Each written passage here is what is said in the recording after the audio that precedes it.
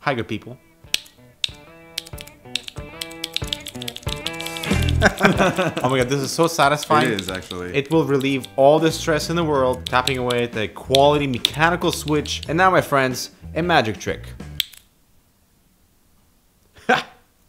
nice. Alright, good people. So before we get into really cool keyboard content at Computex, I would like to thank Phanteks and SteelSeries for making our visit possible. So our desire to explore really cool keyboard content at Computex really started with SteelSeries and their introduction of a new switch called OmniPoint. They're using the Hall effect technology in which you can customize the actuation point from 0.4mm to 3.6 and that is a cool concept but it is not a new concept because the Hall effect switch is uh, been out I think for like 30 years or so. So let's start with Wooting keyboards. The Wooting one was my first analog keyboard and you could customize the actuation point as well, just like with OmniPoint switches. And now Wooting is releasing a new Lekker switch. So it is using the same Hall effect technology as SteelSeries does. So there's a magnet at the bottom, there's a magnet in the actual switch, and they're measuring the signal between the two magnets to calculate or calibrate the actuation point. So the Lekker switches will be linear, of course that is needed when you have the customization of the actuation point. But one cool thing is they're introducing this dynamic reset point, and that is if you bypass the actuation point, uh, and you still do not reset the key, anytime you go slightly up, the key will reset. So you could theoretically activate the key and then perform these minor up and down movements and the key will again activate, granting you much faster actuation so you don't have to bottom out and reset the key every time all the way to the top uh, because the dynamic reset point will already be active beyond that first actu actuation point. I don't know if that makes sense. They will be introducing a special edition keyboard from Wooting. So this is the Wooting 2, so a full-size keyboard with a really cool uh, graphical and vibrant layout.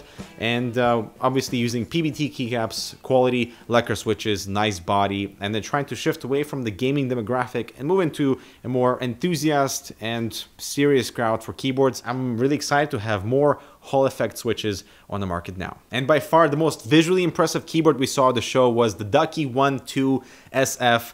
SF stands for 65%. This is the Year of the Pig edition from Ducky, which has an incredibly unique font. It has this dark, rich red keycaps, uh, really cool body, additional uh, special keycaps uh, both for the escape and for your uh, right keycaps, both of which have meaning and they describe to you exactly what it means um, in, in the culture. We have a little bit of golden accents behind a Type-C connection and the overall keyboard is just it's so unique that you most likely will not be able to buy it because it's not that expensive either only like it's under $200 and for that type of special edition PBT keycaps like a really fantastic build quality. The spacebar also has this really unique pig graphic and they are using PBT keycaps with dye sublimation technique. And what's really cool is the new 1-2 SF keyboard is also available in your standard edition white or black, ranges from $89 to $119 and it really removes that stigma surrounding uh, Ducky being like a really expensive brand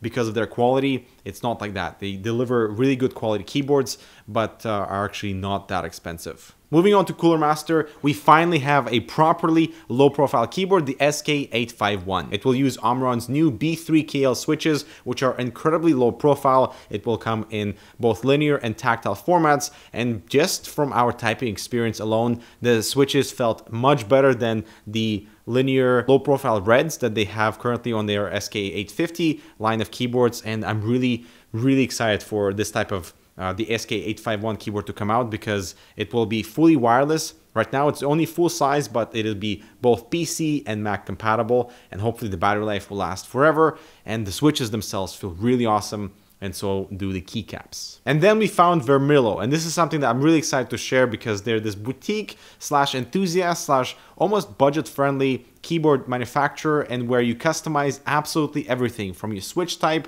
to your keycap color to your font to your spacebar design to the actual body of the keyboard TKL versus full size everything about the whole customization process is up to you. They use PBT keycaps which are super high quality and dye sublimation techniques in which the actual font or whatever is written on the actual keycap is imprinted throughout the entire body. So if you were to have a cross section of the keycap, you will actually see that dye of the font or whatever else. So it will never wear off uh, it's not laser printed, it's not a sticker, it's literally imprinted inside the keycap. And the most impressive part with Varmilo keyboards is the price. So Eber customized himself a TKL layout with different switch types throughout the board. So the WASD area was something else. He got himself additional keycaps, a wrist rest, and that price was $150. And that is usually the price point of a your regular traditional gaming keyboard that is very mainstream, yet here you have something that is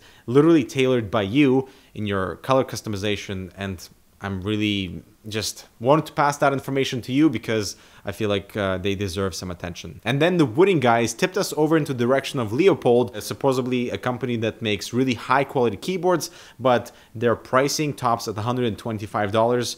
But from what we saw in terms of the customization of the different layouts and different color options, different wrist rest, it was all really, really high quality. For example, the PCB underneath, all the soldering points were really well done. And this is coming from Wooting guys that make keyboards themselves. They said it's a fantastic job on the actual soldering points. So for all silent enthusiasts, this is something really cool. They had this silent focused keyboard that had felt underneath the PCB and the frame. The frame was aluminum, and this is to minimize any vibration noise. They had felt underneath the keycap itself and the little rubber piece uh, on the body so when the keycap bottoms out, that sound is being absorbed. They had additional stabilizers on the spacebar and simply typing on the keyboard.